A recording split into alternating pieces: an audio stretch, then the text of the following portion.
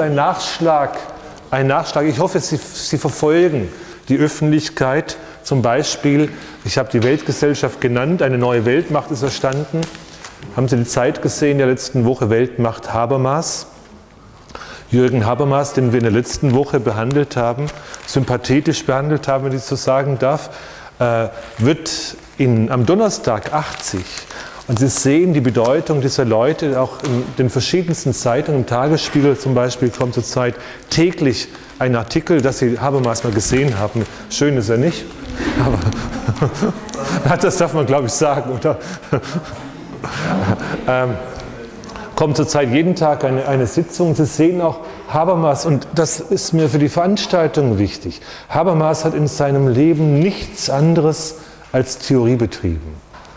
Und äh, sein Hauptwerk ist selber, da steht da wieder Philosoph, die Theorie des kommunikativen Handelns, ist ein vollständig soziologisches Buch, das nur andere Soziologen bespricht, genau genommen. Wenn Sie die Theorie des kommunikativen Handelns an, anschauen, dann haben Sie Durkheim, Weber, Parsons, Goffman, zwar jeweils ein Kapitel zu den Leuten und so weiter. Ja?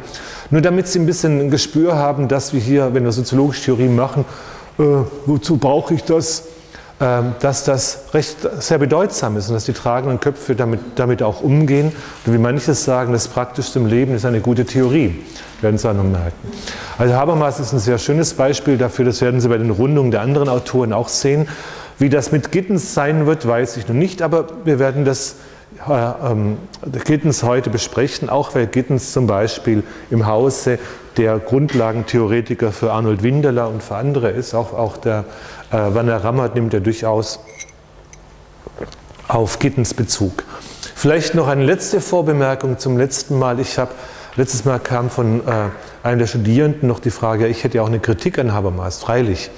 Aber ich, ich sehe nicht das, das Thema dieser Veranstaltung, dass ich meine Kritik äußere und zeige, wie schlau ich bin und wie ich besser bin, sondern dass ich Ihnen versuche, die, die Theorien nahezubringen, von, den, von denen ich glaube, dass sie für alle weiteren Teiltheorien oder Theoretiker Grundlage sind, dass sie, dass sie die brauchen, um die zu verstehen, auch neue, neuere Teiltheorien, ähm, wenn sie in den neuen Band ähm, Handbuch soziologischer Theorien reinschauen. Wie gesagt, das sind 30 Theorien. Gott, wir können auch 50 finden, das ist nicht so schwierig. Die aber im Wesentlichen alles Teiltheorien sind, aufbauen, an, vergenauern und so weiter. Genau genommen geht es auch bei Giddens darum. Giddens ist ähnlich wie Habermas ein Theoretiker, der, der auf, sehr stark auf anderen Autoren aufbaut. Ganz im Unterschied zu Bourdieu zum Beispiel beim nächsten Mal, der zwar Theorien im Hintergrund hat, aber durch seine eigene Art von auch empirischem Zugang, fast eigenwillige Ideen besticht, Beck war auch so einer, äh, gehört Habermas zu denen, die sich auf die Schultern der Alten stellen und Gittens ganz entschieden so. Gittens ist ein, Theore ein Theoretiker, der jahrelang andere Theorien besprochen hat, behandelt hat, bis er für mich sehr überraschend als eigenständiger Theoretiker dann erschien und, dar und dargestellt wurde, aber mittlerweile einen sehr großen Ruf genießt und nicht nur das, sondern in unser Kernthema hineinfällt, nämlich diese Verbindung der neueren Theorien zwischen äh, Mikro und Makro. Was Gittens äh, sehr gern macht, also die Verbindung von Mikro und Makro, die er ähm, die er zu seinem Hauptthema macht. Und Gittens ist natürlich für uns heute äh, in dieser Reihe auch ganz hilfreich oder ganz passend, weil er sowohl eine Grundlagentheorie vertritt, wie eine Gesellschaftstheorie, wie auch eine, Sozialdia eine, eine äh, Gegenwartsdiagnose. Und im letzteren war er sogar äh, fast noch wirksamer und folgenreicher als Habermas, weil Habermas im allgemeinen Diskurs mitgemischt hat. Giddens war, wie manche von Ihnen vielleicht wissen, äh, mit vielleicht der Erfinder von New Labour, also der neuen Ausrichtung der Sozialdemokratie in den 90er Jahren. Die Verbindung von Sozialdemokratie und Liberalismus, die in England entstanden ist nach Margaret Thatcher äh, und die Tony Blair dann begonnen hat, Schröder in Deutschland. Das ist eine Entwicklung, die Gittens ganz wesentlich mit ja, erfunden hat. Der dritte Weg, das ist ja die Idee von, von Gittens gewesen, auch seine Bücher, also der auch direkt in die Praxis sich eingemischt hat. An dieser Seite gäbe es auch einige Autoren. Also es gibt immer wieder Soziologen, die ziemlich entscheidend mit in der Politik mitgewirkt haben. In Deutschland war es der übrigens auch noch lebende Ralf Dahrendorf etwa, der nicht nur Bücher geschrieben hat, sondern ganz entscheidend äh, Politik und auch politische Ausrichtung, also den, den, die Verbindung von Liberalismus und Sozialdemokratie, das war Ralf Dahrendorf übrigens auch schon ne, in den 60er Jahren, diese Verbindung, die das sehr entschieden gemacht haben. Gittens gehört in diese, in diese Reihe der Politiker, Soziologen, könnte man sagen.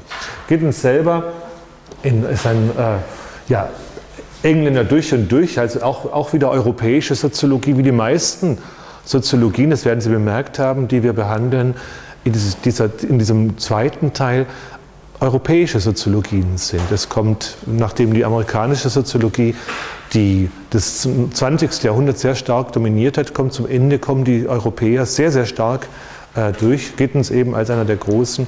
Äh, Bourdieu beim nächsten Mal, Habermas haben wir auch schon gehört. Äh, in der Nähe von London in die Schule gegangen, hat Soziologie und, und Psychologie studiert, dann an der London School of Economics, der Einrichtung in England. Malinowski war dort schon, das ist eine sehr bedeutende Schule. War dann Lecturer an der University of Leicester, wo auch damals Norbert Elias lehrte, der ja nach äh, England geflüchtet war, den Sie ja auch kennen und der in England sehr, sehr starke Wurzeln hinterlassen hat, mit seiner dann sogenannten England und Niederlanden sogenannten Figurationssoziologie. Ähm, lebte dann von 70 bis 97 in Cambridge, hat dort auch studiert, hat PhD in Soziologie gemacht, war dort auch Lecturer in, Soziologie und Fellow am King's College in Cambridge. Äh, ist 86 Professor für Soziologie geworden seit 89 Chairman und Direktor des Center for Social Research in London. 97 dann lebt in London. 97 ist auch, muss ich hinzufügen, ist er auch Rektor der eben dieser London School of Economics geworden. Ich war 96, 97 selber in London, als er Rektor war und war wirklich sehr beeindruckt. Ich habe nicht sehr viel von ihm gehalten davor, muss ich gestehen, aber er war äh, einer von den wenigen Leuten, der die London School of Economics hat sehr viele Studierende aus den Commonwealth-Ländern und sehr viele Ökonomen. Und das hat er wunderbar hingebracht, eben den, den Ökonomen die Soziologie auch beizubringen, sehr, sehr bedeutend. Ist dann äh, seit, ich glaube, 2003 emeritiert. Seit 2003 emeritiert.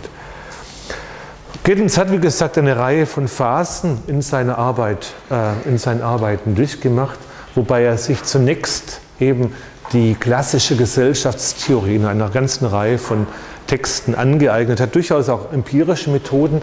Giddens hat zu den Leuten gehört, die sich relativ früh mit äh, den interpretativen Methoden, das nannte er auch so, beschäftigt hat, äh, The New Rules of Sociological Methods zum Beispiel, und hat auch zu denen gehört, die sich ähm, die große Theorie gemacht haben und gleichzeitig auch die Ethnomethodologie, die Interaktionstheorien eingearbeitet haben, hat sich mit Wissenschaftstheorie und sozialwissenschaftlichen Methoden beschäftigt, sehr viel zum, zur Sozialstruktur, zur Klassenstruktur, eines der Themen in England schon seit langem, wo eben die, die Zweiteilung der Klassen sehr viel schroffer und stärker ausfällt, die Arbeiterklasse und die äh, ähm, einer bürgerliche und adligen Klasse eben sehr stark äh, zwei verschiedene Kulturen ausbilden, ausgebildet haben und da auch die Transformation dieser Klassenstruktur durch die, den, die, das Ende der Industrialisierung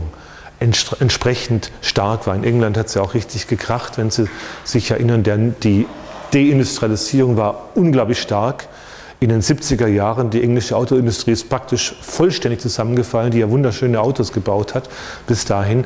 England ist von einer hat heute eine der niedrigsten Industrialisierungsquoten des gesamten Kontinents, also von ganz Europa. Ähm, ist vollständig umgebaut worden und dieser Umbau ist ja auch mit der Ära Thatcher damals verbunden worden, also mit der, äh, dem, der, ähm, der äh, der Aufnahme, der Akzeptanz dieser sehr starken liberalen Politik, die von 79 bis eigentlich Blair bis 96 dann ähm, geherrscht hat und vorgeherrscht hat. Und in diesem Zug ist auch das, das Land vollständig umgebaut worden, von einem Industrieland in ein Dienstleistungsland, eben sehr stark Finanzdienstleistung, wie man jetzt wieder gemerkt hat, was nicht, auch nicht nur das große Glück ist, wusste man auch nicht. Und hat dann einen auf dieser Grundlage einen eigenständigen theoretischen Ansatz entwickelt, die sogenannte Strukturationstheorie. Deswegen behandeln wir das auch. Die Strukturationstheorie ist das, wofür er bekannt wurde. Ich will auch hier die Kritik nicht äh, vorweg und nicht äußern an diesem Ganzen. Und schließlich, was ich schon erwähnt habe, gegenwartsanalytische und politikberatende Schriften, die insbesondere eben in der Ära Blair, also bis Blair, nicht nach Blair, hatte nicht mehr viel zu sagen, der jetzige ähm, ähm, Kanzler und Parteiführer ist ja nicht gerade, steht zwar noch in der Nachfolge, aber hat offenbar auch die, diese Linie allmählich verloren. Sehr breit als auch die, die, die Beiträge, die Giddens bringt. Und ich will diese drei Dimensionen beibehalten, die wir haben. Nämlich zunächst einen größeren Block über die Grundlagentheorie, die Strukturationstheorie, dann ein bisschen zum, seiner Gegenwartstheorie, zu, wie, wie sieht er die Struktur der modernen Gesellschaft um dann seine äh, Hinweise auf die Veränderungen der modernen Gesellschaft in eben eine späte Moderne, wie er das nennt, äh, zu skizzieren, anzudeuten. Äh, sehr ähnlich, parallel fast an dieser Stelle zu Ulrich Beck. Beck und Gittens sind sich auch sehr grün. Äh, Beck hat ja über über Gittens, darf man wohl sagen, auch eine Gastprofessur an der London School of Economics erhalten und ist seither regelmäßig dort. Sie haben auch Bücher zusammengeschrieben und die zweite Moderne, reflexive Moderne und späte Moderne sind sehr ähnliche Gebilde. Beide sind sich auch durchaus sehr theoretisch sehr nah, obwohl eben Gittens im Unterschied zu Beck eine, eine Grundlagentheorie hat, während Beck diesen diesen Anlauf nie gemacht hat. Beck, der übrigens jetzt auch, wie ich gesehen habe, zum Sommer emeritiert wird, also auch die na, aktive Sinne, die Universität jedenfalls verlassen wird, das wird für München sicherlich ein großer, eine große, großes Problem sein, eine entsprechende Nachfolge, schätze ich, zu finden. Die Aufgabe der soziologischen Analyse ist nach Gittens dreifaltig. Ähm, es geht um diese Dreifaltigkeit, merken es auch in dem Ansatz immer drin, ähm, nämlich ein, einerseits um eine hermeneutische Erklärung und Vermittlung divergierender Lebensformen. Also eine, etwas wie das Verstehen von Handlungs- und Handlungszusammenhängen, die sich zu Lebensformen verdichten auf der einen Seite, verstehende Soziologie, klassischerweise. Sie wissen, wer die verstehende Soziologie begründet hat, dass äh, diese das nimmt Gittens auf, einer der wenigen, die das äh, eigenständig aufnehmen, dass dieser verstehende Ansatz von Max Weber ist ja durchaus nicht ganz einfach im angelsächsischen Raum zu verstehen. Jedenfalls, das ist dabei. Neben dem Verstehen, auch wie bei Weber, natürlich die Erklärung äh, der, hier der Produktion und Reproduktion der Gesellschaft, aber als Produkt menschlichen Handelns social, als social practices ordered across space and time. Ähm, an dieser Stelle müssten Sie die Hand heben und sagen, Moment. Und Sie fragen sich, warum sollten Sie die Hand heben? Für wen? Nicht die Faust, nicht die Revolution, nein, die Hand. Ähm, wegen der analytischen Ungenauigkeit. Wir sehen schon hier, dass wir hier zum Beispiel Handeln und Practices haben. Und das ist tatsächlich ein kleineres Problem, was wir in, der, in den Handlungstheorien, den neueren Theorien haben, dass das etwas unscharf ist, äh, unscharf ist und gehandelt wird. Das ist nicht dasselbe. Ähm, das wird Giddens ein wenig behandeln noch. Wir werden nächstes Mal bei Bourdieu eine reine sogenannte Praxistheorie haben. Bei Giddens steht aber der Handlungsaspekt noch sehr deutlich im Vordergrund und er versucht dann aus dem Handeln eine Art Praxisbegriff zu entwickeln. Praxistheorien ist der Titel für ein großen, großes Feld jüngerer Theorieentwicklung, nicht nur in der Soziologie, sondern in der gesamten Kulturwissenschaft. Und wenn Sie die wiederum verstehen wollen, ist es sehr sinnvoll, eben Bourdieu oder auf Gittens Bezug zu nehmen, um diese Theoriedebatten, die Sie auch in der Techniksoziologie haben, Communities of Practice zum Beispiel, also pra äh, Gemeinschaften gleicher Praxis, die, durch, die, sich durch ähnliche Praktiken auszeichnen, ohne zu wissen, dass es eben diese Praktiken sind, wie man bestimmte Dinge macht. Ähm, gehört zum Beispiel in der Technik- und Organisationssoziologie dazu. Und schließlich drittens äh, meint Gittens noch die, eine Berücksichtigung der doppelten Hermeneutik etwas, was Sie eigentlich auch schon alle gehört haben, das ist etwas umbenannt, als was wir als Konstrukte erster und zweiter Ordnung haben, dass nämlich wir, wenn wir die Menschen untersuchen, äh, nicht nur Deutung vornehmen, sondern Deutung, deren Deutungen vornehmen. Das ist die doppelte Hermeneutik. Wir müssen nicht nur, wir verstehen nicht nur etwas, sondern wir müssen das Verstehen verstehen. Das ist die doppelte Hermeneutik. Konstrukte erster und zweiter Ordnung. Erinnert sich noch jemand dran? Von wem die waren? Ungefähr zweite Sitzung, die wir gemeinsam hatten, Grundlagen der Soziologie. Gut. Schütz, Alfred Schütz, Konstrukte erster und zweiter Ordnung. Also doppelte Hermeneutik, die Grundaufgabe. Und ich, ich füge hier an dieser Stelle hinzu, wenn wir auch, das haben wir jetzt auch gesehen beim ähm, Samstag, war jemand am, am, bei der langen Nacht der Wissenschaft?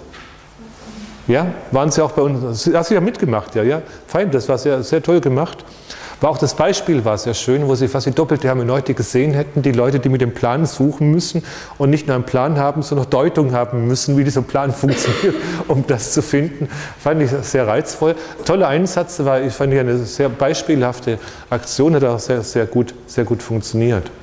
Also war sehr nachgefragt so wie ich das gesehen habe und eben hat auch gut funktioniert. Also das als drei, auch die drei Ebenen herein verstehen, erklären und das Verstehen des Verstehens, das gleichzeitig, und das ist Ergittens besondere Eigenschaft, als eine Art Vermittlung eben wieder an die Gesellschaft zurückgegeben wird, Vermittlung von Alltagssprache und Theoriesprache, das macht Gittens auch. Ich weiß, das kann nicht jeder von uns. Gittens konnte das relativ gut, wobei man sagen muss, an die Sprache der Experten, der politischen Experten. Aber äh, diese Vermittlung scheint, ist für ihn und für die, äh, für die soziologische Analyse bedeutsam, dass wir nicht analysieren, sondern das noch weiter, äh, dieses Analysieren auch in, diese, in, in, den ersten Verstehensprozess wieder einspeisen. Ähm, die Grundzüge der Theorie der Strukturation, ich will die Tafel nicht jedes Mal wieder anführen, aber ich möchte sie äh, erinnern daran, an uns, an den, den großen Überblick, der von, der von Handeln bis zu System reicht, wo wir konflikttheoretische, Sie werden Mittwoch sehen, welche Konf Konzepte besser hinhauen, konflikttheoretische, interaktionstheoretische und eben diese vermittelnden Ansätze haben, die versuchen, zwischen Handeln und System zu vermitteln. Das sind ja die neueren Arten von Ansätzen. Habermas hat dazu gehört. Ähm, Gittens gehört dazu und natürlich auch äh, Bourdieu, den wir beim nächsten Mal behandeln werden, die sehr, drei sehr große Säulen, die auf allen drei Ebenen der Theorie, Grundlagentheorie, Sozialtheorie, Gesellschaftstheorie und Zeitdiagnose gearbeitet haben. Das zentrale Forschungsfeld der Sozialwissenschaft besteht weder in der Erfahrung des individuellen Akteurs noch in der Existenz irgendeiner gesellschaftlichen Totalität, sondern in den über Zeit und Raum geregelten gesellschaftlichen Praktiken. Weder im Individuum allein noch im abstrakten System, sondern in den Praktiken, die dazwischen vermitteln. Sie sehen das schon hier aus, äh, ausgedrückt bei Gittens, dieses Grundprinzip, dass wir eben nicht eine quasi Psychologie sind, die sich mit dem Geist des Einzelnen, mit seiner Psyche beschäftigt, mit dem, was jeweils zu, vonstatten geht, aber auch nicht die Gesellschaft. Schon alle wissen, wie die Gesellschaft aussieht und als ein eigenständiges System ohne empirische Anschauung betrachten, sondern die vermittelnden Prozesse, die er als über Zeit und Raum äh, vermittelnde Praktiken ansieht. Nicht als Sie erinnern sich bei Habermas an das kommunikative Handlung, wo vor allem die Kommunikation, die Sprache dann die Steuerung übernimmt, die Koordination übernimmt, sondern Praktiken sind das bei ihm. Praktiken sind sie deswegen, weil Handlungen, wie, wie er meint, rekursiv sind, im und durch die Handlungen reproduzieren die Handelnden die Bedingungen, die ihr Handeln ermöglichen. Reflexiv sagen die Ethnomethodologen dazu, er sagt da rekursiv dazu. Das, und das ist der, der wesentliche Schritt, den wir verstehen müssen, dass in den Handlungen, ähnlich wie in der gesellschaftlichen Konstruktion der Wirklichkeit, in den Handlungen selber das Dauerhafte des Gesellschaftlichen produziert wird. Das ist eigentlich der Schritt, den er, den er aufzeigen möchte durch die Rekursivität. Und zweitens, ein zweiter Aspekt der Handlung, die Reflexivität, dass die Handelnden auf den fortlaufenden Prozess des gesellschaftlichen Lebens fortlaufend Einfluss nehmen. Das heißt, die, Hand, die, die wenn ich das schon vorwegnehmen darf, die Strukturen, das, das Dauerhaftere, das im Handeln entsteht, ist nicht einfach fremd, sondern natürlich sind die Handelnden an diese Handlung geknüpft. Gekoppelt würde man mit Blick auf Luhmann sagen, sie sind nicht, sobald Strukturen oder Systeme entstehen, sind die Handelnden nicht abgekoppelt, sondern sie sind reflexiv damit verknüpft. Das ist ein, ein sehr großer Unterschied zu zum Beispiel einer reinen Systemtheorie, die sagt, Handlungen mag es geben, die müssen wir aber deuten als Kommunikation. Sobald es Kommunikation sind, laufen die aber eigenständig und die Handelnden haben da nichts mehr mit zu tun. Nein, hier ist es ganz anders gebaut äh, über, die über die Reflexion wird äh, diese Verbindung hergestellt. Die Kontinuität der Handel, Handlungen setzt Reflexivität voraus und Reflexivität ist dank der Rekursivität möglich, äh, weil wir eben bestimmte Praktiken, dauerhafte Praktiken ausbilden, Rekursivität, können wir auf dieser Grundlage äh, des Eingespielten eben auch reflexiv handeln. Haben wir eine, einen Überschuss an Reflexiven, einen Gedanke, der äh, auch schon weiter verbreitet ist. Das Handeln selber äh, setzt Gettens auf drei Ebenen an, drei Aspekte, wenn man so will, des äh, Handelns. Nämlich einerseits auf der, auf der obersten Ebene eine Art von reflexiven Steuerung des Handelns und seiner Bedingungen. Das heißt, wir überlegen natürlich reflexiv, was wir tun und was wir unter bestimmten Umständen tun können. Können, wir, können Sie heute fehlen? Überlegen Sie, naja, es ist ja Streik, also man kann ja was anderes machen und so weiter. Reflexive Steuerung des Handelns. Wenn Sie äh, zum Beispiel äh, den Weg suchen zum Geodätikum und sich plötzlich in Raum 30, 25 wiederfinden, denken, naja, irgendwas musste anders sein. Hier ist jedenfalls nicht Geodätikum, ist niemand da. Und sie überlegen sich, ob das, das, ob das mit, was sie gefunden haben, mit dem Ziel identisch ist. Äh, steuern also ihre Handlungen daran, schauen, ob die Bedingungen ihres, ihres Beobachtens zum Beispiel zutreffen, war der Gang, durch den sie gegangen sind und so weiter. Also bei ein, einfachen Fragen ist es Behandlung. Reflexive Steuerung des Handelns heißt nur, dass natürlich wir intentional handeln und wissen, was wir tun. Äh, das ist unterschieden von der Rationalisierung des Handelns. Bitte sehr.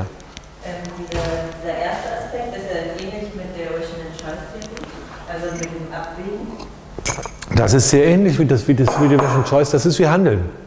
Es ist nicht so, dass die Rational Choice Theorie das Handeln erfunden hätte, aber das ist genau richtig. Also es ist im Prinzip, wir wollen ein Ziel erreichen, wir steuern unser Handeln genau so, dass wir das Ziel erreichen, mehr oder weniger sinnvoll, äh, im Wissen eben, im Wissen wissen, was wir haben. Mit, den, mit dem Problem auch dort der unbekannten Handlungsbedingungen, also die, die verantwortlich sind für die nicht intendierten Folgen des Handelns zum Beispiel. Richtig. Das sind, das ist, der Handlungsbegriff ist ja auch kein, kein eigentlich komplizierter den können wir relativ äh, gut voraussetzen, genügt aber noch nicht, weil wir dann noch was haben, eben, eben der Rationalisierung. Eine Art, eine Art, das in Anführungsstrichen theoretisches Verständnis für die Gründe des Handelns. Also zum Beispiel, Sie waren dort und sind einfach weggelaufen, weil man aus Wut so etwas tut ja, dass man eine Art Emotionstheorie des Handelns hat. Man darf so Dinge machen unter Drogeneinfluss oder Alkoholeinfluss und so weiter. Oder Leute, die äh, Studenten sind, sind einfach nicht praktisch veranlagt und finden ihre Räume nicht.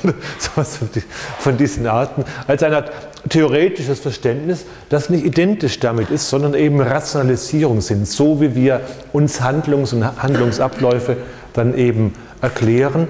Ähm, und auf einer tiefsten Ebene haben wir dann, oder setzt eher, das sollte kein Komma sein, entschuldigen Sie, Bedürfnisse, die Handeln veranlassen, Motive, Wahrnehmung, mehr oder weniger, mehr oder weniger sage ich, psychologischer Natur, dass wir Gefühle haben, dass wir ein Sicherheitsbedürfnis haben und so weiter, was Gittens auch sehr breit anspricht und deren Sozialisierung, dass wir einen Körper haben, der Kälte, Wärme und so weiter hat, äh, was er anspricht, was auch eine Ebene des Handelns darstellt. Und diese Ebenen unterscheidet er entsprechend auch auf drei, wenn Sie wollen, Bewusstseinsstufen. Nämlich einmal das praktische Bewusstsein, das sich eben überlegt, wie wir Dinge erreichen, hand, erreichen in Handlungen. Das theoretische Bewusstsein, das diese Handlungen mehr oder weniger gut erklärt. Das muss übrigens nicht heißen, dass es sie richtig erklärt. Ja, unsere Rationalisierung, das wissen Sie, äh, äh, unsere Rationalisierung, doch das wissen Sie von Pareto zum Beispiel, können ziemlich abwegig sein. Wir können sagen, naja, immer wenn der Mond, wenn Vollmond ist, habe ich Schwierigkeiten beim Räume finden. so von dieser, wie auch immer, können ja sehr unterschiedlich sein. Oder Frauen finden es halt nicht, haben keine Raumorientierung und was immer solche Rationalisierungen sein mögen. Und auf der untersten Ebene dann das, was er das Unbewusste nennt, nämlich jene, wenn man so will, vorsozialen Motive und Bedürfnissen, die wir als menschliche Wesen und nicht als einzelne Handelnde haben. Ähm, und Sie sehen auch hier dann, dass entsprechend bei der reflexiven Steuerung die unerkannten Handlungsbedingungen natürlich entsprechend auch zu den unbeabsichtigten Handlungsfolgen führen können. Also ein Handlungsmodell, das drei Schichten des Handelnden äh, einbaut und die, wenn man so will, auch als Störfaktoren einbaut. Wenn Sie nach Western Choice fragen, würde also sagen, dass wir so, wenn wir rational handeln, dass die Rationalität selber gar nicht besonders rational sein kann. Wenn Sie zum Beispiel guter, was ich, Muslim, Katholik und so weiter sind, dann ist Ihr theoretisches Verständnis etwas anderes und Ihre Rationalität ganz anders, weil Sie andere Arten von Rationalisierungen haben. Die typische Rationalisierung äh, dieser Art äh, hätten wir auch schon äh, beispielsweise in der, äh, erörtert in dem Zusammenhang von Webers, äh, Webers Beschreibung des Protestantismus, des Einflusses des Protestantismus auf das ökonomische Handeln was eine ganz seltsame Art von Rationalisierung war, wie Sie wissen, die etwas äh, umfänglich ist, aber die als Rationalisierung dann dieses Handeln steuert, eine Art von innerweltlicher Askese schafft und so weiter. Sie, wissen das auf der Grundlage von einer dritten Schicht dieser äh, Motive, wie eben zum Beispiel Sicherheit, also das heißt Ungefährdetheit und, und, dergleichen, körperliche Unversehrtheiten, solche Dinge, die als Motive Bedürfnisse sein können, als Motive durchaus wandlungsfähig sind und wandelhaft sind. Ähm, ja, wandelhaft sind. Dieses Handeln bildet den Ausgangspunkt, das ist noch nicht die Theorie, das ist der Ausgangspunkt des Ganzen, aber er geht eben und das werden Sie, das werden unterschiedliche Ansätze sein. Er geht vom Handeln aus, dass der kleinste Generator dieses gesellschaftlichen Prozesses ist und aus dem, ähnlich wie bei, bei Berger-Luckmann, dann andere, äh, andere, die anderen Ebenen, die Strukturen äh, äh, ähm, entwickelt werden. Handlung bedeutet als Definition fähig sein, in die Welt einzugreifen, beziehungsweise einen solchen Eingriff zu unterlassen, mit der Folge, einen spezifischen Prozess oder Zustand zu beeinflussen. Das ist die einfachste Form. Äh, und auch hier mit einem sehr breiten Machtbegriff, das Vermögen der Akteure, ihre eigene Entscheidung durchzusetzen, definiert er dann schon als Macht sehr viel breiter, als es bei etwa Weber war. Der nächste Schritt nun und das ist eigentlich der, der erst die Strukturationstheorie macht. Den werde ich so ein paar Stufen versuchen darzustellen. Der nächste Schritt ist nun, dass das Handeln selber Strukturen schafft. Das Handeln selber schafft Strukturen. Das ist ganz wesentlich. Es ist durchaus auch, ähnlich wie bei Luhmann, autopoetisch gedacht. Das Handeln erzeugt diese Strukturen. Wenn diese Strukturen aber einmal Strukturen sind, dann wirken sie auf das Handeln zurück.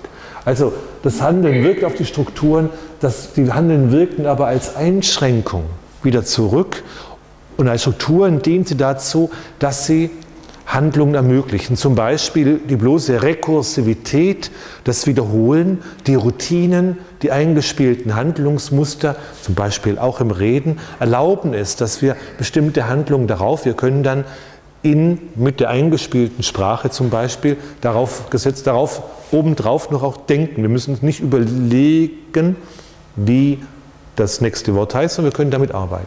Wir können dann darauf denken. Diese Strukturen also schaffen Möglichkeiten, zugleich bilden sie eine Einschränkung. Diese, dieser autopoetische Charakter, Autopoiesis kommt Ihnen jetzt locker über die Lippen, vermute ich, dieser autopoetische Charakter wird auch emergent genannt. Emergenz auch in der Systemtheorie, also dass Strukturen aus den Prozessen erzeugt werden, aus Prozessen erzeugt werden, aus denen sie bestehen. Die Prozesse schaffen die Strukturen, die Strukturen bestehen aus diesen Prozessen, sie sind aber nicht mehr identisch mit diesen Prozessen, sondern eine andere Ebene, eben Struktur, nicht Handlung. Die Struktur ist Struktur, nicht Handlung. Unterscheidet sich. Eine Institution wie die Polizei ist keine Handlung mehr, besteht zwar aus Handlungen, besteht aus Handlungen, die dauernd reproduziert werden, ist aber eine eigene Strukturebene. Das heißt, darauf verweist der Begriff der Emergenz, dass eben Strukturen aus, ja, was ich gerade schon zweimal wiederholt habe, der emergente Charakter von Struktur und Wechselwirkung von Handeln und Struktur. Strukturen sind nicht fest, sondern bauen auf Handlungen. Strukturen sind das Ergebnis des Handelns, wie auch das Medium des Handelns. Das nennt er, da komme ich gleich noch drauf, die Dualität der Struktur. Sie sind das Ergebnis von Handlungen, sie werden aus Handlungen aufgebaut. Sie sind aber auch das Medium von Handlungen, weil sie Bedingungen und Einschränkungen für Handlungen formulieren und festlegen. Ähm, die Strukturen sind die Ausdehnung von Handlungen in Raum und Zeit. Sie sind Regeln und Ressourcen des Handelns. Sie schließen bestimmte Handlungen aus und stellen Handlungsressourcen bereit.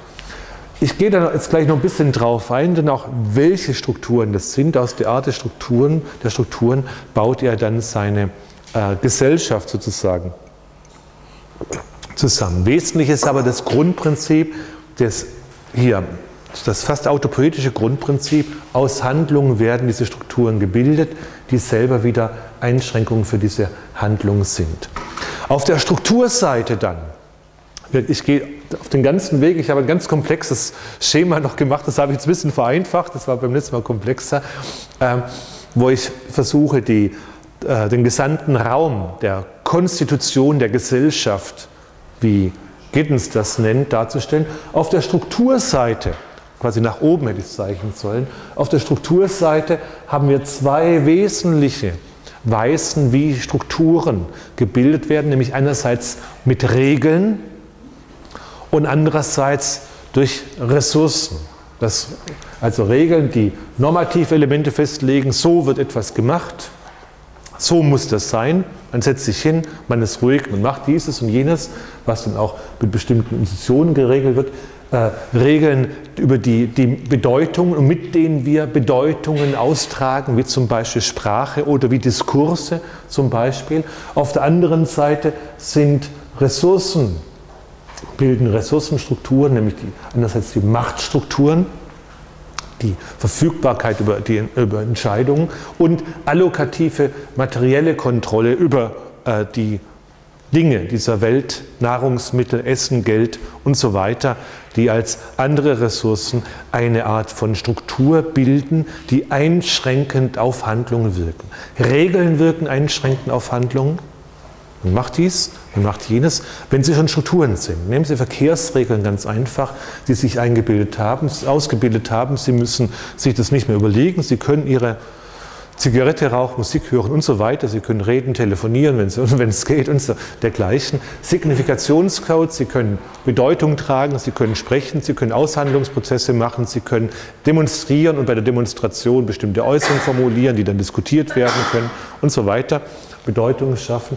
Autoritative Ko Koordination, die werden, äh, diese äh, äh, Entscheidungsmöglichkeiten werden festgegeben. Bestimmte Möglichkeiten zur Entscheidung werden zum Beispiel dem Bürgermeister überlassen oder wenn sie bei der, beim, beim Streik sind, dass bestimmte Leute koordinieren die Handlungen, versuchen eine Moderation vorzunehmen, andere versuchen zur Revolution aufzurufen, wohin auch immer an und so weiter und so fort, die, wenn sie dann Machtmittel haben, auch die anderen mitnehmen können oder sagen können, äh, darüber entscheiden können.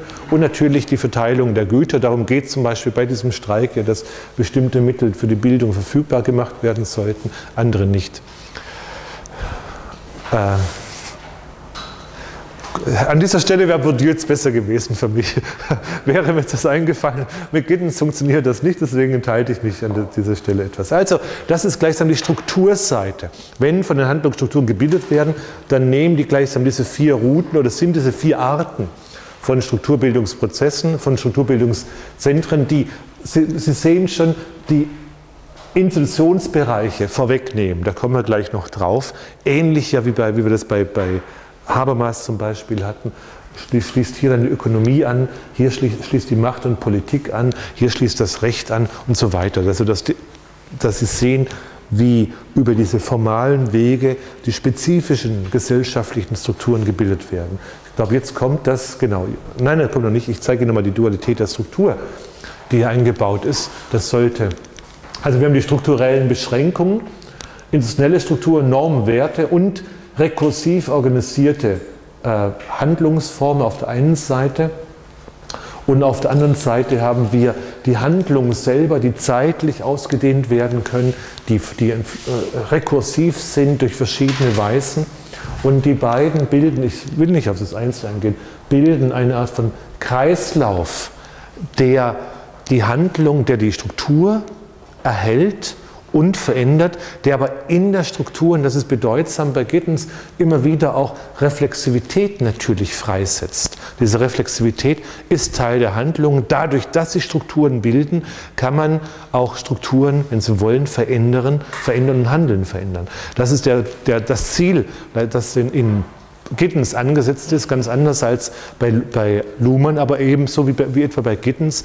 Wenn die Handlung mit den Strukturen verbunden werden, dann ist auch theoretisch die Veränderbarkeit der Strukturen eingebaut. Sie können als Systemtheoretiker praktisch nur Systeme verändern. Sie können nur als Systemplaner sagen, hier verschieben wir was und so weiter, müssen sich als Systemplaner aber dann auch immer herausnehmen aus dem ganzen Plan und als Theoretiker auch. Luhmann natürlich ist nicht dem System unterworfen, oder jedenfalls was er schreibt, dass dieser Einbau ist diesen, in diesen Theorien gemacht ähm, und weist auch darauf hin, dass wir, äh, dass eben äh, die Handlungsfähigkeit und die Reflexionsfähigkeit in der Struktur prinzipiell beibehalten wird, auch wenn die Struktur fortwährend natürlich Beschränkungen auferlegt und Einschränkung ist, aber sie ist auch eine Ermöglichungs, äh, eine Ermöglichungsstruktur.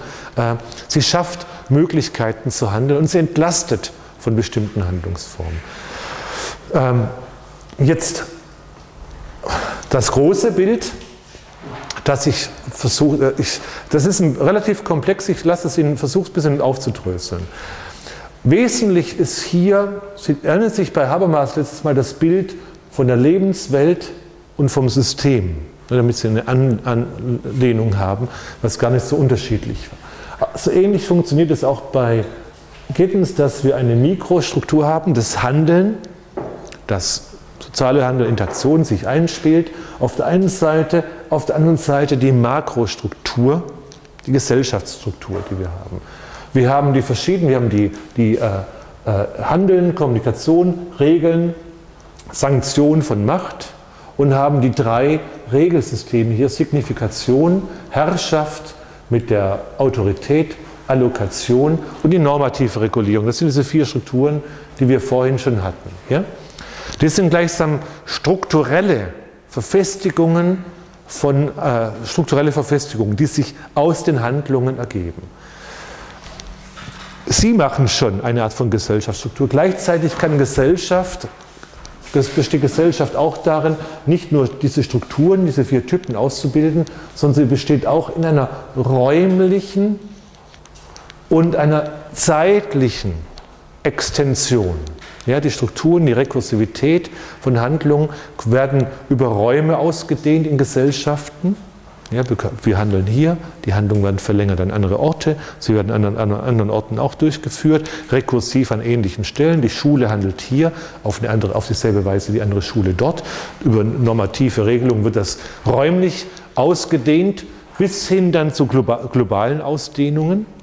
Das Handlungs- Achsen dann aus, entfalten können. Und natürlich können die Handlungen dann auf verschiedene Weisen, zum Beispiel über Signifikation, indem wir Erinnerungssysteme bauen, Bücher sind solche zum Beispiel, äh, äh, auf Dauer gestellt werden, eine lange Zeit, äh, in, in, in, äh, auf, auf, lange Zeit, auf Dauer gestellt werden, in, den Institutionalisierungen, sodass wir nicht nur die vier Struktur geregelten, über Ressourcen und Regeln Strukturmomente haben, symbolische Ordnungen, also Signifikationen, politische Institutionen, Autorisierung, ökonomische Institutionen und rechtliche Institutionen als die vier institutionellen Säulen der Gesellschaft, sondern das Ganze auch noch über räumliche und zeitliche Extension auf eine gesellschaftliche Ebene stellen können. Der Mikrobereich und der Makrobereich unterscheiden sich, anders gesagt, nicht nur dadurch,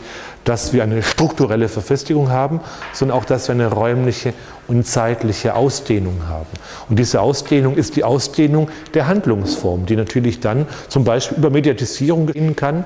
Relativ einfach, wenn Sie äh, wie eine Gesellschaft, nehmen Sie eine Gesellschaft wie hier ist die große eine, ägyptische Gesellschaft zum Beispiel, die für die räumliche Ausdehnung braucht Steinplatten, wo sie was draufschreiben können, damit den Leuten sagen können, so geht's. Und die Handlungen, rekursive Handlungen möglich sind. Das ist ziemlich aufwendig, deswegen ist das ägyptische Reich auch nicht größer geworden. Die Römer hatten das ein bisschen schlauer gemacht, die hätten keine Steinplatten genommen, sondern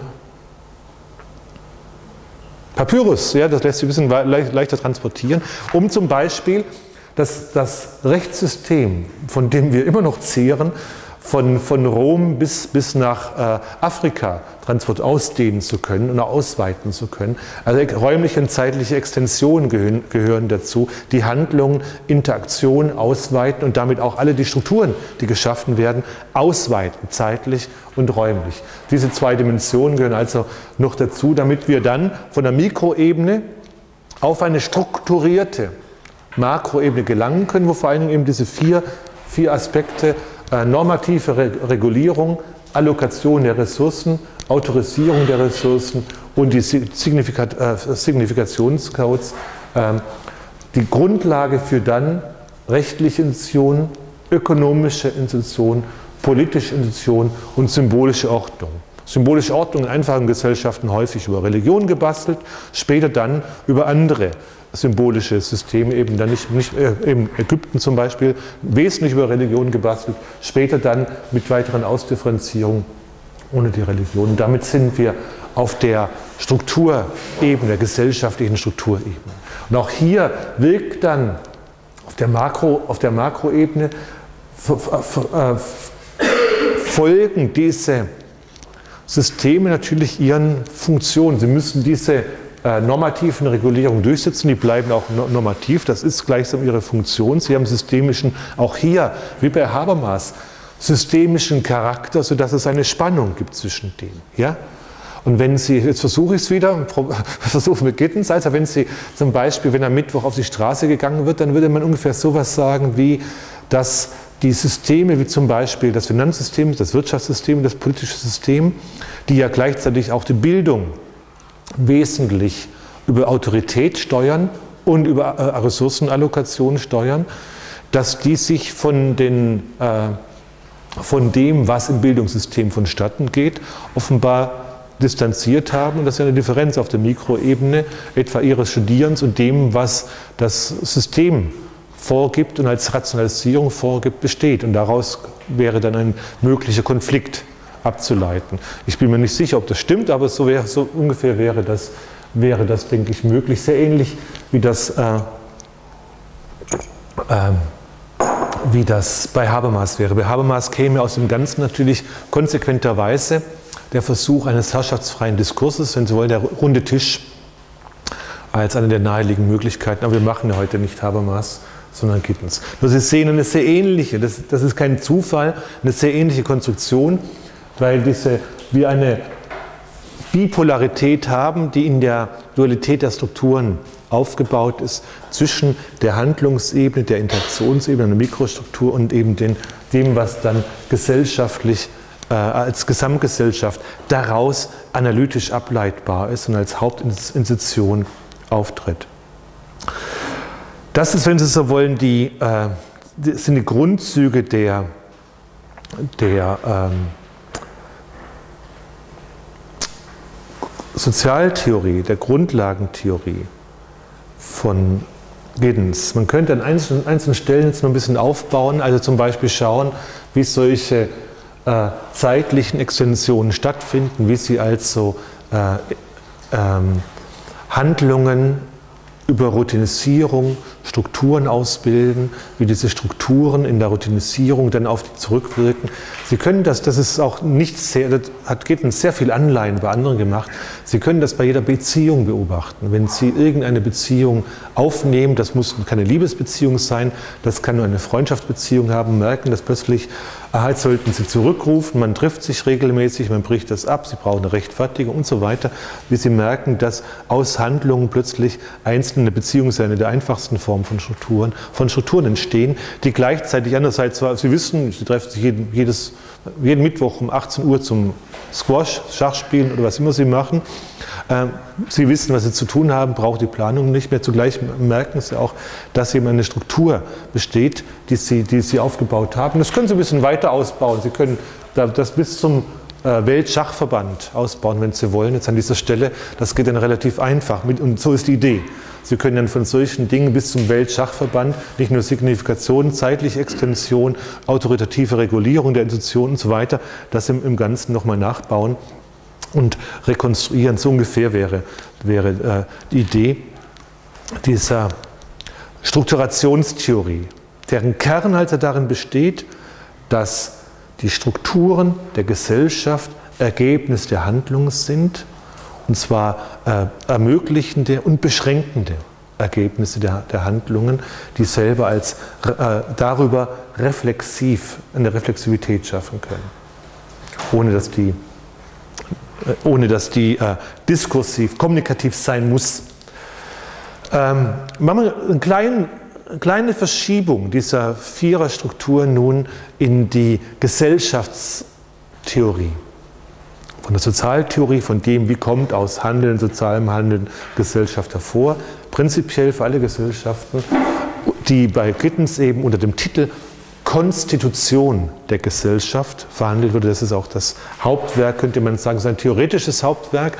Nun zur spezifischen Fassung der modernen, ich sage hier noch moderne Gesellschaft, das ist nur die moderne, die äh, Gittens dann auch in eine Art äh, Panoptikum, synoptisch, wo er verschiedene Analysen der Moderne zusammenführt. Ich kann das relativ kurz machen, weil wir die Moderne schon äh, in der ersten Sitzung angesprochen haben. Aber ich sollte es hervorheben, weil Gittens da durchaus Eigenheiten oder eigene Nuancen gesetzt hat, die bis dato übersehen wurden. Nicht bei der Rolle des Kapitalismus zum Beispiel, der äh, aus der Trennung von politischer und ökonomischer Sphäre entsteht, die Moderne natürlich ganz entschieden prägt. Industrialismus, also die Produktionsweise des Kapitalismus durch die Mechanisierung des Transports, Mechanisierung der Kommunikation. Sie sehen schon extensionsräumliche Extensionsapparate, Urbanismus verbunden mit neuen Formen der Kriegsführung, industrielle Kriegsführung, Erster Weltkrieg zum Beispiel, und ein neues, man könnte fast sagen, äh, exploitatives Verhältnis zur Natur. Die Ausbildung des Nationalstaates natürlich hatten wir auch schon behandelt, aber behandelt auch Gittens dann äh, in äh, großer Breite, nämlich die vor allen Dingen Monopolisierung der Mittel legitimer physischer Gewalt, Souveränitätsanspruch über ein Gebiet und ein dauerhafter Regierungsapparat und als sein früher Beitrag, den er aus einer, wie üblich aus Literatur, aus seiner frühen Foucault-Lektüre abgeleitet hat, ist die frühe, frühe äh, Herausstellung der Bedeutung von Überwachung und Kontrolle äh, als ein Merkmal der modernen Gesellschaft, dass moderne Gesellschaften, äh, bei Weber heißt es Bürokratisierung, Also zum Beispiel mit der Erfassung der Einzelnen, mit der Aufnahme einzelner Daten, mit der Schaffung von Ausweisen und so weiter ein äh, Überwachungssystem schaffen und enorm viel darin investieren. Ähm, über Arbeitsverträge, sozialtechnische Bearbeitung von Abweichungen, Freiheitsrechte, die verdichtete Kontrolle und Disziplinierung gleichzeitig bedeuten, die Ausweitung der Machtpraktiken und die Sammlung und Speicherung von Informationen, die äh, Aspekte der, der, der, totalitären Herrschaft, äh, denen die anhaften, wenn praktisch über alle zentral von einer autoritativen Macht Daten gesammelt werden. Das ist ein Thema, das dann, dann nachmalig dann auch aufgenommen wurde. Das ist also nichts Besonderes noch für die, äh, für die Moderne, nur eben die Hervorhebung der Überwachung. Das war schon äh, Gittens Beitrag und als dann die Debatte über die Informationsgesellschaft in den 80er Jahren losging, war auch Gittens einer von den Leuten, der die Rolle eben der Information zur Beherrschung sehr, sehr, sehr deutlich hervorgehoben hat und das als ein Aspekt nicht erst der modernen Informationsgesellschaft, sondern, wenn Sie wollen, des Kameralismus des 16., 17. Jahrhunderts. Die modernen Staaten entstehen, was auch historisch zu zeigen versucht, damit, dass ihre Bürger erfassen. Nicht nur, dass sie ihnen eine Identität, eine nationale Identität geben, sondern sie erfassen alle Einzelnen von Anfang bis Ende und haben sie damit auch, haben sie damit auch unter einer äh, Kontrolle. Das ist sicherlich die Besonderheit der modernen institutionellen Strukturen von Gittens noch dazu. In äh, der späten Moderne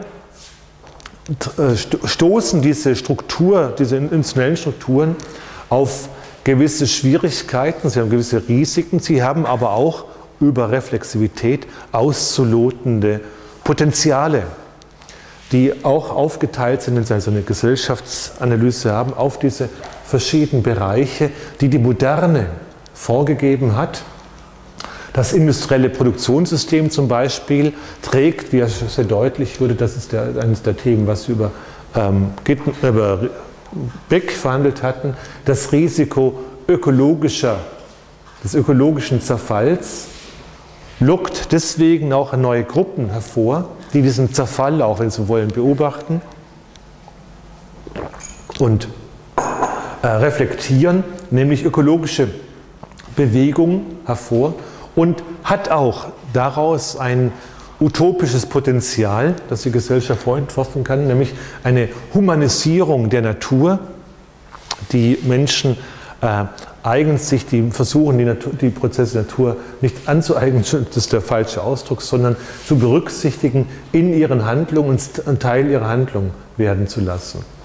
Ähnlich ist es auch mit dem Kapitalismus, wenn wir schon dabei sind. Die Risiken des Kapitalismus ist fortwährend der Kollaps der, der ökonomischen Weltordnung, etwas, was ja seit Marx ein Dauerthema ist, wenn Sie so wollen, das auch klassischerweise eigentlich, hier sollte man genauer sein, der im Industrialismus von der Arbeiterbewegung aufgenommen wird ähm, und äh, als utopisches Potenzial, das jetzt auch wieder in der Debatte ist, ökonomische Nachknappheitssysteme äh, zur Folge haben könnte. Also zum Beispiel äh, Ökonomien, in denen, das, auch das ist seit den seit der Krise des äh, Industrialismus schon ein Thema, in denen nicht mehr Wachstum das zentrale ökonomische Prinzip ist. Nach wie vor ein, ein Problem, wenn also Ökonomien nicht prinzipiell auf Wachstum aufbauen, für den Kapitalismus jedenfalls ein, ein, ein Problem. Und das wäre auch etwas für die Frage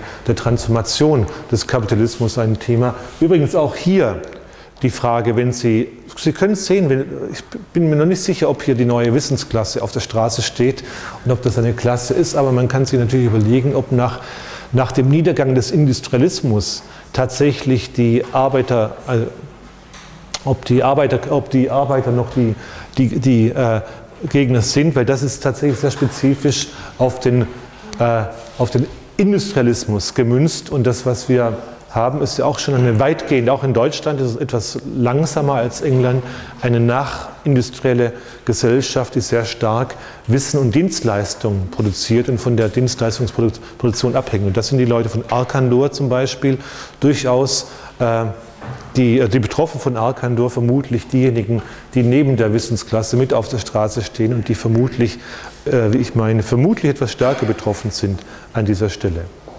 Das System der Überwachung trägt das Risiko natürlich 1984 schon, schon thematisiert des Entstehens einer totalen Herrschaft, dessen Gegner dann in Demokratisierungsbewegungen zu finden sind, die gleichsam gesellschaftlich die Reflexion über diese Gefahr äh, betreiben. Das war schon zu meinen Zeiten die letzte die Volks, große Volksbefragung 1984 hätte die stattfinden sollen, eine massive Bewegung damals gegen, äh, gegen die Volksbefragung. Das haben Sie immer wieder, Sie sehen das ja. Interessanterweise, das ist ganz ein, ein sehr, sehr reizvoll, interessanterweise nicht im Internet. Das ist ganz lustig, weil hier praktisch beide Bewegungen fast aufeinanderstoßen. Die Frage der Verfügbarkeit von Informationen über Leute und die Bewegungen, die diese Verfügbarkeit herstellen, äh, sind hier fast identisch. Und so haben sie eine sehr, sehr eigenartige Entwicklung, sehr späte, äh, merkwürdige Entwicklung, dass dieses ein System, das eigentlich zur Überwachung mit auch dienen könnte von Bewegungen, die gegen Überwachung sind, mitgenutzt wird. Das war ja im Internet von Anfang an eine Doppelkonstellation. Einerseits militärisches Informationssystem, andererseits dezentrales Netzwerk, Netzwerk für, für ähm, für solche, die nicht, die nicht die zentralisierten Medien benutzen wollen. Und beides geht ziemlich durcheinander. In der letzten Zeit haben wir ja einige Diskussionen. Und das, ich vermute auch, das wird auch noch in der Diskussion bleiben. Also die Frage, wie viel die Leute, wie, wie sehr die Leute im, im Netz zugänglich sein sollen, sein werden und wie die Leistung von Menschen die Copyright-Leistung von Menschen, wie sehr die auch zugänglich gemacht werden oder wie sehr das Netz selber kontrolliert werden soll. Also Demokratisierungsbewegungen werden hier noch ein bisschen, sind hier ganz eigenartig und was er als utopisches Potenzial davon, äh, daraus äh, darin zieht, ist ein Mehrschi sind mehrschichtige demokratische Partizipation, sehr ähnlich wie Beck die Annahme, dass wir äh, in allen, in, in, vielen Handlungsbereichen uns politisch äh, und partizipieren, auch wo es um eben die Informationen von uns entsprechend kon kontrollieren und uns an verschiedenen Bereichen, äh, verschiedenen Lebensbereichen als Bürger behandeln, nicht nur im Bereich äh, des gesamten Staatssystems, sondern auch im, im, in den eigenen Lebensbereichen, in den kleineren Lebensbereichen, ähm, wie zum Beispiel Verkehrs, äh, laut, äh, Verkehrsprobleme, Lautstärkeprobleme und dergleichen. Ein besonderes Problem, was er noch anspricht unter der Macht, ist die systemische, das System militärischer Macht. Natürlich auch hier ist ja äh, klassisch der Nuklearkrieg jetzt ja durch Korea wieder etwas, etwas heraufbeschwört, als Risiko besteht. Und dieses Risiko durch die Friedensbewegung äh, identifiziert wird als utopisches Potenzial auch hier auf der Strukturebene von den Handelnden erreichbar. Die äh, Demilitarisierung der Weltordnung, auch das hier etwas, das wir als äh, Thema fast durch die Masse, durch die Nachrichten wieder, wieder verfolgt haben, nachdem neulich, wie Sie mitbekommen, sicher mitbekommen haben, Putin sogar sich vorstellen kann, die Atomwaffen abzubauen, ist dieses utopische Potenzial sogar eben in, bis in die in die äh, Presse gerückt. Ähm, diese Strukturen, äh, Strukturelemente also haben eine Art von, von haben, tragen Risiken mit, mit, sich, werden von der Bewegung identifiziert und haben aus der Reflexion geschaffene, utopisch, aus der, aus der eingebauten Reflexivität geschaffene äh, utopische Potenziale. Ähm, die, die Transformation, wenn Sie wollen, eine Veränderung der Moderne, bewirken oder beschreiben, sollte man besser sagen, beschreiben. Diese Transformation der Moderne ist auch bei Gittens schon unterwegs und das ist so der Übergang zu seiner Zeitdiagnose, eben die späte Moderne, die er beschreibt, die als, ähm, ja, als transformierte Fassung, nicht eben als Postmoderne, sondern äh, nicht einfach als gegen die Moderne entworfene anderes, sondern wie auch geschrieben wird, aus der Moderne oder weitergetriebene Moderne verstanden werden kann, radikalisierte späte Moderne, nennt er das auch, um die Kontinuität, auch die strukturelle Kontinuität der Institutionen zu halten. Äh, und er hat eine ganze Reihe von, von, von, Aspekten herausgehoben, auch selber beschrieben, also zum Beispiel die Herausbildung partikularer Identitäten, dass also Identitäten sich, das ist ein, ein gängiges äh, späte moderne Raster Identitäten sich partikularisieren, von ihren sozialen, strukturellen Vorlagen ablösen. Nicht mehr mit Familien, Dörfern, Gemeinschaften, sonst wie zusammenhängen, sondern aus eigenen, ähm, hier nicht einfach psychologischen, sondern aus typischen Motiven heraus. Sicherheitsmotiv, Körpergefühle zum Beispiel.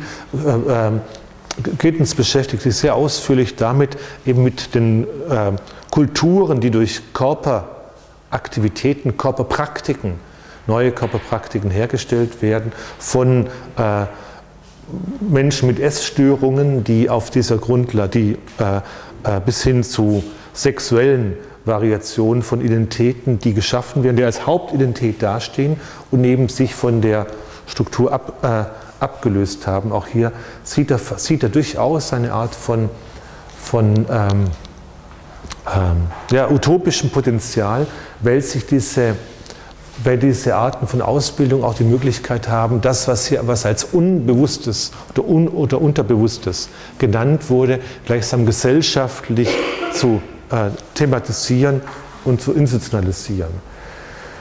Die Verabschiedung von gesellschaftlichen Alternativen, das ist ja relativ knapp, das, und der Tod des Sozialismus, der 89 sehr deutlich wurde, der ja in seinen berühmten dritten Weg mündet. Eben weder ähm, sozialistisch noch kapitalistisch, sondern eine dritte Fassung, das war ja New Labour, in Deutschland ja gar nicht unbekannt in der deutschen Vorgeschichte, aber für den, den angelsächsischen Weg relativ neu. Nach den Alternativen der Versuch, die politischen Grundlinien, die die moderne Politik in der Moderne gekennzeichnet haben, zu verbinden, nicht aufzulösen, zu verbinden in diesem dritten Weg. Die Zweifel an der Objektivität wissenschaftlicher Erkenntnis, das ist eine, ein Thema, das, ja, äh, das wir bei, bei äh, Becker schon sehr deutlich mitbekommen haben, dass die späte Moderne die Gemachtheit der Wissenschaft erkennt. Wir haben da eine eigene Disziplin, die Wissenschaftssoziologie dazu. Deswegen müssen wir das nicht so laut machen. Das ist für andere Leute, wie ich am Tag der, bei der langen Nacht der Wissenschaft dann doch immer wieder feststelle, nicht, nicht so ganz klar, dass wir schon weit davon ausgehen, dass diese wissenschaftlichen Erkenntnisse Folgen von Praktiken sind und nicht einfach Wahrheiten Wirklichkeiten, Widerspiegelung, Widerspiegel. Die Widerspiegelungstheorie ist ziemlich ad, ad, ad acta gelegt. Und das ist auch bei Gittens so. Der Abschied vom keynesianischen Wohlfahrtsstaat, äh, also das Scheitern der Sozialdemokratie, staatliche Interventionen bringen keine Stabilität, und die These der Wohlfahrtsabhängigkeit, also der neuen sozialen Gruppen, die durch Wohlfahrt erst geschaffen werden, von Arbeitslosen, die Hartz IV in Deutschland ja ganz spezifisch. Äh, das ist eine ganz Debatte, die wir, über die wir gerade reden können und sollten. Interessanterweise macht das niemand.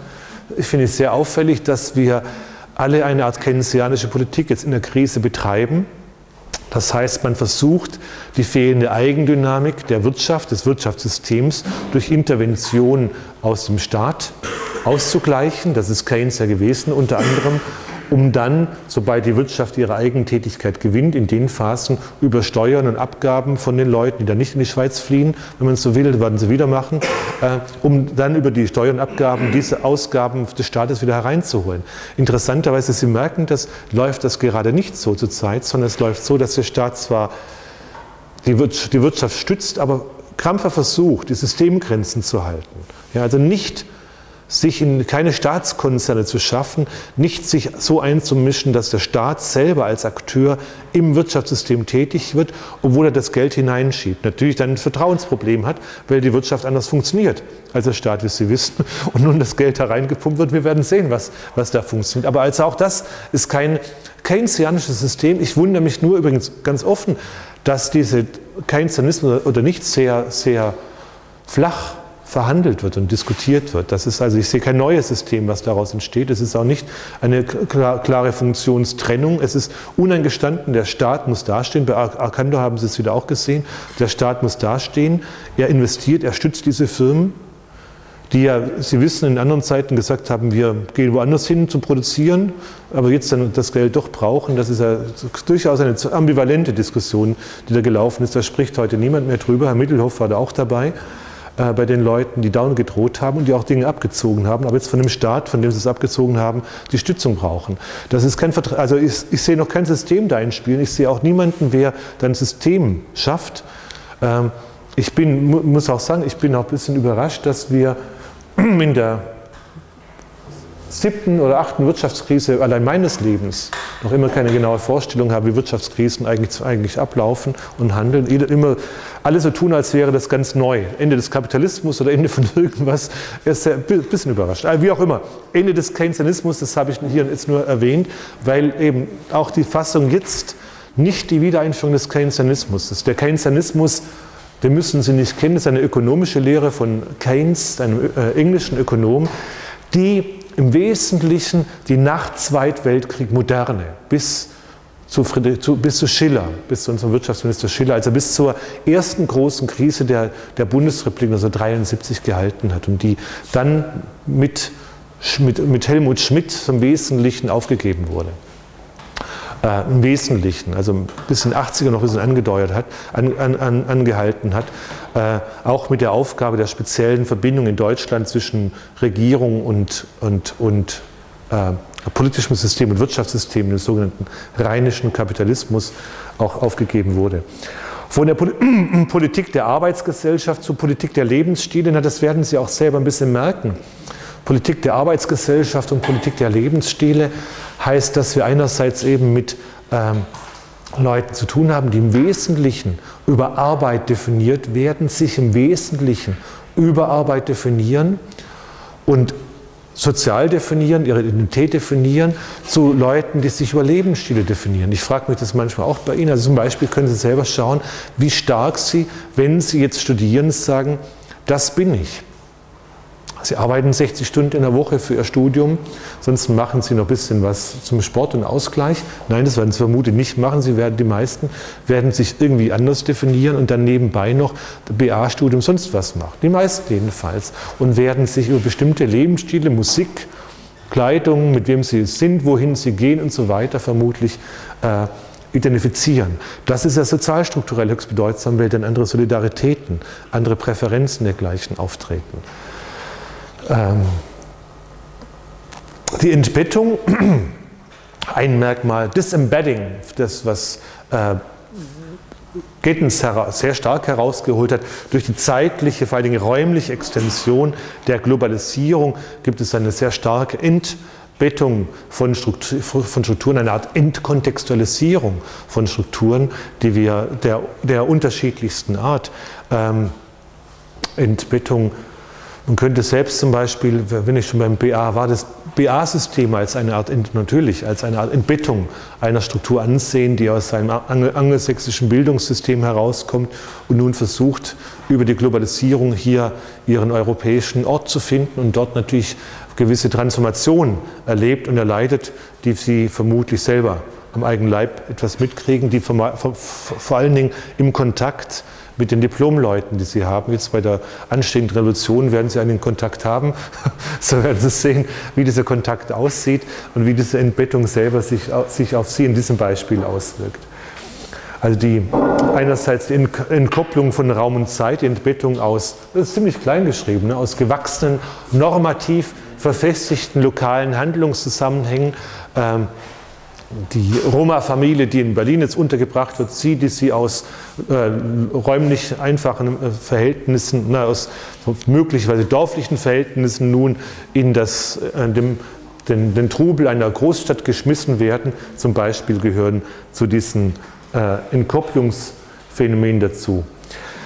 Ähm, eines der Merkmale dieser spätmoderne, spätmoderne besteht nicht so sehr darin, wie Beck meint, dass die Leute einfach individualisiert werden, sondern er hält das wesentliche Merkmal für die, als, bezeichnet als Enttraditionalisierung.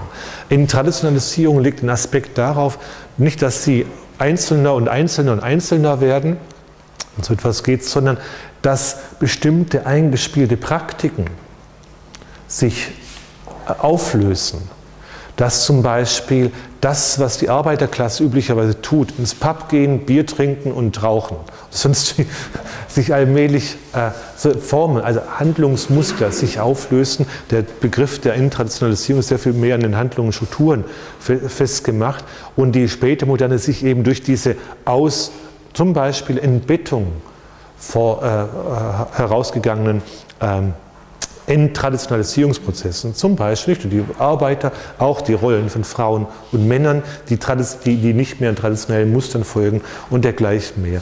In Traditionalisierung, die sich selbst in, ähm, in den neuen Fundamentalismen niederschlägt, die ja auch nicht einfach nur Tradition, alter Katholizismus äh, von Leichnamprozessionen, sondern neue Formen annehmen. Dann äh, äh haben wir Pop, äh, Popmusik dafür, T-Shirts mit Machetratze und solche Dinge, die eben selber Ausdruck von, Ent, von Traditionalisierung sind. Eine zunehmend gewichtslose Ökonomie, das ist ja, was die späte Moderne in die Krise gebracht hat, also der Austausch von Invisibles, das ein großer Teil der Ökonomie im Wesentlichen damit besteht, dass wir nur noch Zahlencodes in eine Karte eingeben und Dinge austauschen, die gar nicht mehr ausgetauscht werden der, der Austausch von Invisibles, das ist ja, was viele meinen, auch der Grund für die Krise, der jetzige Krise der Ökonomie, weil diese, der Tausch mit Invisibles eben äh, keine, äh, ja, nicht keinen Halt hatte, ungeregelt verfuhr. Das war, glaube ich, das Problem.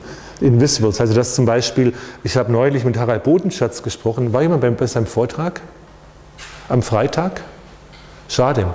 Das ist wunderbar über Dubai und über Dubai, das Musterbeispiel der, der, äh, der späten Moderne, wenn man es so will, dieses, La dieses Land, in dem kein Wasser wächst, aber massenhaft Leute angezogen werden. Und er erzählte, dass natürlich die Krise ausgebrochen ist, aber nicht genau, nichts Genaues weiß, weil die Häuser, diese unglaublich vielen Wohnungen in den Häusern auf, äh, äh, auf mitten im, den Kunstinseln gebaut, zum Teil fünf, sechs, sieben Mal verkauft wurden. Also jemand wird es kauft, es wieder verkauft als Investor und so weiter und gar niemand weiß, wem die eigentlich gehören. Also die Krise mag da sein, aber es weiß noch niemand recht und es weiß auch gar niemand, wer da wohnt. Es ist vermutlich auch kaum jemand da, man weiß gar nichts, weil es auch kein, keine, keine große, es ist alles frei, frei liberal, alles höchst liberal gemacht. Man weiß, wie viele wohnen, man weiß nicht mal, wem die Häuser gehören, man weiß nicht mal, ob die alle, die, die, das, alle die, denen die Häuser gehören, mittlerweile schon, schon bankrott sind. Es ist völlig unbekannt, es gibt so gut wie kein Wissen drüber. Außerordentlich spannend, wenn man zu dieses, ja, das, diesen globalen äh, äh, Ausdruck einer globalen äh, Ökonomie, was Dubai ja wunderbar ist. Dubai hat noch was anderes, einen guten, einen, einen großen Hafen, sollte man erwähnen. Aber das ist schon eine, ein, eben über Austausch von Invisibles sehr stark zustande gekommen.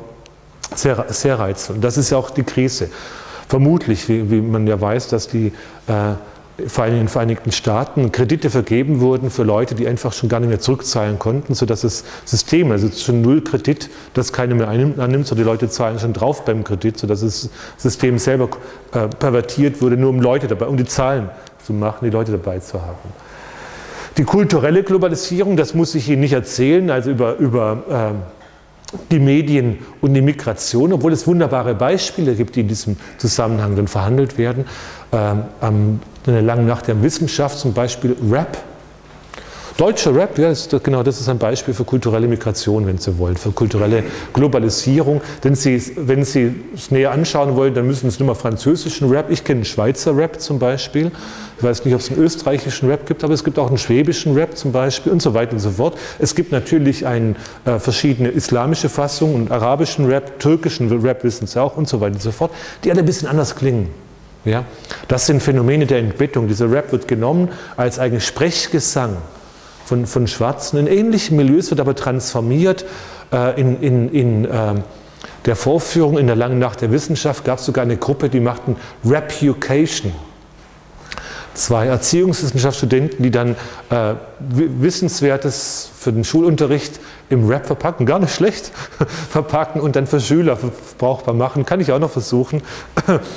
Obwohl bei mir vermutlich eher der fantastische Vierstil dann durchklingt, aus regional bedingt. Eine Transformation der Demokratie, natürlich, das sehen Sie auch sehr stark, eine Transformation der Demokratie, die einerseits eine äh, die, die Struktur, eine Strukturierung der Bürokratie auf der, einen, der, der, Demokratie auf der einen Seite, die einfach als Machtapparat, bürokratischer Machtapparat sehen Sie die Professionalisierung der Politikerkarrieren, die einfach nicht nur mal vier Jahre da sind, sondern überlegen müssen und ihre Pfünde, ihr Leben auch sichern müssen. Und auf der anderen Seite eine Art von ja, Bürgerpolitik, die entsteht, also in den verschiedensten Punkten, die relativ unabhängig davon ist, von diesen Arten von, von, äh, von Politiken. Ähm, die reflexiv äh, gewordenen staatlichen Beziehungen, Interdependenzen kommen ins Bewusstsein. Und schließlich ja nicht zuletzt natürlich das sogenannte berühmte Institution Building, also der Versuch, äh, immer wieder, immer, immer mehr übernationale Schwächung des Nationalstaates, postnationale Konfliktkonstellation, mehr und mehr überstaatliche Einrichtungen zu bilden. Auch das übrigens, ich wollte ja mal wieder zum, zum äh, zur Krise etwas sagen. Auch das ist natürlich gerade eines der Themen, wo, ich jetzt relativ wenig höre. Eine der, der, der, Probleme, der Aufgaben nach dieser Krise war ursprünglich, und unser Finanzminister wollte das machen, äh, Regelungen für das Finanzsystem zu bauen indem er zum Beispiel die Schweiz schlecht macht. Das ist auch eine Möglichkeit. Die eigentliche Möglichkeit wäre natürlich verpflichtende Regelungen, sodass die Gelder nicht abfließen können. Das ist genau das Problem, was wir gesagt haben, dass die, wenn, wenn diese Wirtschaft funktioniert, dass auch die, die reinzahlen, wieder was herausbekommen, dass das weiter funktionieren sollte. Das geht aber nur, wenn es ein weltweites System bastelt. Und eigentlich müssen es eine Art, äh, wir haben ja schon eine Weltfinanzbehörde, aber eine Welt Finanzflussregulationsbehörde, schätze ich, sowas von dieser Art, basteln, die auch sanktionsmächtig ist. Die also sagen kann, hier in, wo in, auf den Bahamas oder wo immer das Geld untergebracht wird oder auf den, der Isle of Man oder wo, wo auch immer die, das Geld hinflüchtet, äh, wenn es da wieder Geld gibt, dass, dass dann entsprechend Zugriff gehabt werden kann, wer auch immer. Das sind, das sind die postnationalen äh, Institution Building und das ist für die Politikwissenschaft ein großer Prozess mittlerweile enorm viel, es gibt da schon viele Regelungen, da passiert auch einiges. Die EU ist nur ein kleines Beispiel dafür, was da schon, schon, äh, schon vonstatten geht. Das sind eine ganze Reihe von Schlaglichtern, die, die äh, Beck, äh, was Beck de Gittens wirft auf eben diese späte Moderne, die eine, äh, nicht einfach das, äh, eine reflexiv gewordene andere Moderne ist und die diese jetzige Moderne weitertreibt, das höher treibt. Ähm, die, die, Nationalstaaten zum Beispiel einfach, das ist ja seine Idee, ausweitet, die über die Entbettung die Strukturen verlagert und, und eine Art von neue Ausdehnung hat. Das als Zeitdiagnose. Man muss sich bei Gittens natürlich fragen, das gebe ich hier zu, das gilt aber auch für Schulze zum Beispiel, auch für Beck, dass diese, Radikal, dass diese späte Moderne, ähnlich wie die Postmoderne, ähm, möglicherweise ein, ähm, ja, ein, selber ein historischer, ein historischer Aspekt, eine historische Zeit war, dass man die Zeitdiagnose natürlich weitertreiben muss. Und das, denke ich, ist notwendig. Und das wird ja auch von den einen oder anderen getan. Zum Beispiel, dass eben diese Frage der, diese äh, Aufspaltung, die Alternative zum Sozialismus nach äh, dem Niedergang jetzt nun auch des Dritten Weges in England vorexerziert, auch äh, Deutschland weiß ich noch nicht so recht. Merkel kann man da nicht einschätzen. Also Schröder wäre schon, ist schon der dritte Weg gewesen, war ja auch nicht der, der, der letzte Erfolg, nicht erfolglos, nicht der letzte Erfolg. Aber nachdem dieser dritte Weg dahin ist, wird jetzt auch unter dem Eindruck der Krise vermutlich ein neues, äh, eine neue Gesellschaft, Gesellschaftselemente werden sich formieren dabei, sodass wir Diagnosen, dass wir Diagnosen machen müssen. So, ich denke, das eine oder andere äh, wird auch transformiert. Ich bin schon beim Beispiel der äh, zum Beispiel Wissensklasse oder An Dienstleistungsklasse schon darauf zu sprechen gekommen. Aber das ist das Wesen der Zeitdiagnosen, die eben, wo Sie auch schon sehen, wie äh, die so 10, 20, 30 Jahre äh, Züge haben. Gleichzeitig ist natürlich von Gittens, und deswegen haben wir ihn gemacht, auch sind die äh, Gesellschaftstheorien und vor allen Dingen auch die Grundlagentheorien, glaube ich, schon sein Beitrag. Wenn Sie Kritik hören wollen, noch am Schluss, ich habe Gittens, äh, find, ich finde es sehr, sehr treffend und passend. Ich habe die Strukturationstheorie, finde ich, eine sehr gelungene Theorie. Ich hatte immer den, das Problem, dass ich nicht so recht gesehen habe, was so besonders an Gittens ist. Also ich denke, das haben mehrere auch schon in dieser Form gesagt. Äh, und nicht immer, nicht immer entsprechend äh, honoriert. Zugleich aber bildet er oder bringt er diese verschiedenen Ansätze durchaus in ein Modell, das über Dualität der Strukturen, über die Relevanz der Handlungen, äh, über die immerhin Möglichkeit der äh, Betrachtung von Praktiken ähm, doch eine Alternative zu den Handlungstheorien auf der einen Seite und Systemtheorien auf der anderen Seite darstellt. Und wenn man so will, auch etwas soziologischer ist, als, ähm, als das bei Habermas der Fall ist, der dann schon etwas mehr utopisch und seine, etwas mehr Utopie schon in das Handeln reinbaut. Es bleibt aber, und das werden Sie beim nächsten Mal sehen, deswegen hätte ich eigentlich heute besser Bourdieu gemacht, es bleibt ein sehr ähm, ja, konfliktarmes Modell, möchte ich sagen. Gittens ist sicherlich eben auch dafür berühmt, das war auch der Versuch, ja, den Konflikt zu vermeiden. Das ist auch so ein bisschen der dritte Weg.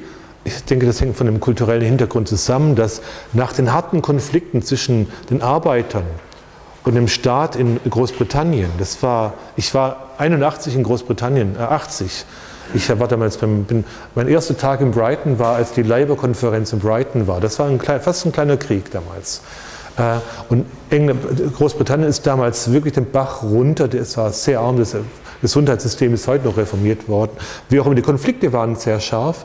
Und da geht es um New Labour, sollte das auch geschlichtet werden. Also kein sehr stark konfliktorientiertes Modell. Das wiederum, das ist auch der entscheidende Aspekt, wird anders beim nächsten Mal, wenn wir mit Bourdieu äh, uns beschäftigen. Bourdieu wird zwar auch diese Verbindung zwischen System und Handelnden über den Begriff der Praxis herstellen. Bei, bei Bourdieu wird aber gerade auf der, auf der Ebene der Institution, der Strukturen, der Konflikt eine ganz leitende Dynamik sein. Und das ist ein, vermutlich auch das kritische Problem, das eines der Probleme, was wir hier haben bei Gittens, dass diese Konfliktdynamik relativ schwach ist. Wir werden sehen, also wie das bei Bourdieu aussieht. Deswegen wäre es reizvoller heute gewesen, obwohl ich zweifle, dass die Konfliktdynamik jetzt am kommenden Mittwoch so besonders groß sein wird. Ich glaube, also ich habe halt nur so eine Antizipation, könnte man meinen, da passiert, da passiert einiges, weil hier Konfliktzonen sind. Ähm, nein, ich will ja nicht, nicht, nicht, vom Katheter her das sagen. Ähm, deswegen wäre das das passende Thema gewesen. Wir werden aber diese, diese stärkere Konfliktorientierung eben nächstes Mal bei, mit Bourdieu verhandeln.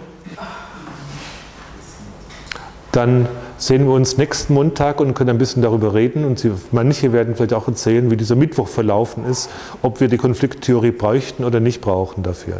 Bis zum nächsten Mal.